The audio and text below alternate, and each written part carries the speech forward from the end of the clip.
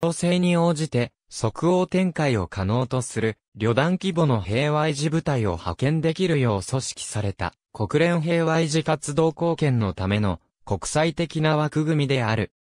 1994年、デンマークの主導で、設立構想が立ち上げられ、1996年に、同国を含めた、欧米7カ国により設立。2000年に活動を開始した。略称はシャーブリッグ。多国艦隊機軍即応旅団とも言う。シャーブリッグは、主に、デンマークなどの北欧諸国を中心に組織され、南米や北米も含めた16カ国が参加している。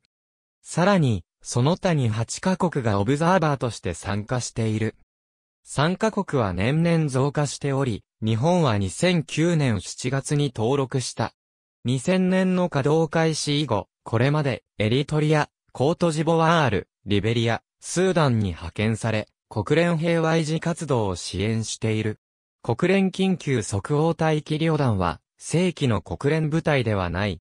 その設立根拠となる、国連安保理決議などは存在せず、従ってそれ自体が、国連安保理に、その設立を承認された部隊ではない。シャーブリッグは、有志国により国連の平和維持活動に特化した活動を行う部隊として組織された多国籍有志軍であり、その活動の承認は、個々のミッションにおける国連安保理との特別協定の締約という形を取る。シャーブリーグの設立の発端は、1995年1月3日の国連事務総長報告書、 Supplement to an Agenda for Peace における勧告、及びその強化版とも言うべき2000年の Report of the Panel on United Nations Peace Operations における勧告を受け、デンマークが同国の趣旨に賛同する国々を集めて、作業部会を設置したことに遡る。国連緊急即応待機旅団の使命は、国連に対し、国連待機制度に基づいて、非常説の多国籍即応展開能力を提供することにある。その目的は、国連安保理が行う平和維持活動要請に対し、よく訓練され準備の整った即応展開部隊を旅団規模の PKO 部隊として、常時提供可能な状態に保つことにある。これを実現するため、シャーブリッグは以下の活動原則を設けている。国連緊急即応待機旅団は、国連安保理が設置した平和維持活動のうち、以下の5つの活動に参加している。国連緊急即応待機旅は3つの要素から構成されている。シャーブリッグの組織構成は次の通り。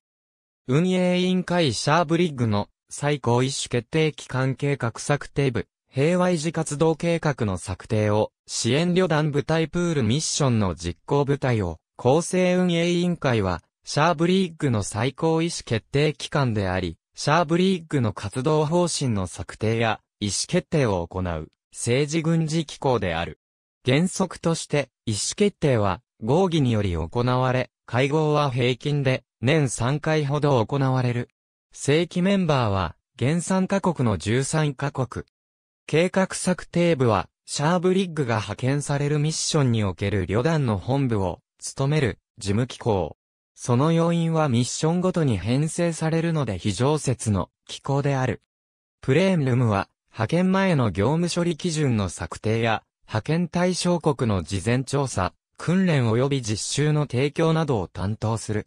正規メンバーは、シャーブリーグ3カ国のうち10カ国から選出され、参謀総長が指揮を取る。本部は、デンマークのホーフェルトで、8つの支部を持つ。シャーブリッグの旅団プールは、旅団の定員を超える数の要員を派遣している各国の類似の部隊によって構成される。このプールにより、仮に参加国の一部が派遣を拒否した場合でも、プールの中から要員を補充することが可能となる。旅団プールに蓄積される要員は、シャーブリーグ専用の要員として各国から派遣されるものではあるが、通常の旅団要員とは異なり、プール要員は各国軍司令部の霊下となる。常時4000から5000人の要員がプールされている。国連緊急即応待機旅団は SC を統括する議長府を預かる議長、旅団部隊を統括するシャーブリッグ司令官、事務部門であるプレーンルムを指揮する参謀長によって構成される。司令官と参謀長は2年の任期で各国で交代して行い、それぞれ司令官には準将級、参謀長には大佐級の召喚がついている。現在の各部門の指揮官は次の通り。2007年6月現在、国連緊急即応待機旅団には、世界各国から欧米を中心に、計16カ国が参加している。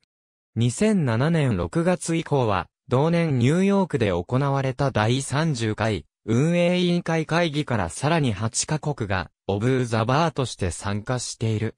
シャーブリッグ参加国はシャーブリッグに対して MOU を締結することにより、シャーブリッグへの参加を公式なものとしている。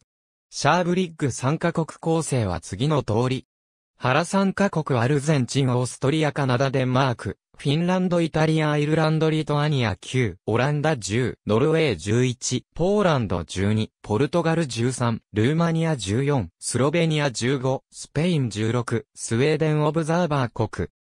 チリ、クロアチア、チェコ、エジプト、ハンガリー、ヨルダン、ラトビア、セネガル。参考、シャーブリッグ公式サイトの各説明ページ、国連憲章第7章43条の規定に基づいて、安保理と加盟国の間の特別協定に従って、提供される兵力、援助、便益として扱われる。 Report of the Secretary General、on the Work of the Organization、Supplement to An Agenda for Peace、Position Paper of the Secretary、General on the Occasion of the 50th Anniversary、of the United Nations 国連事務総長報告、 Report。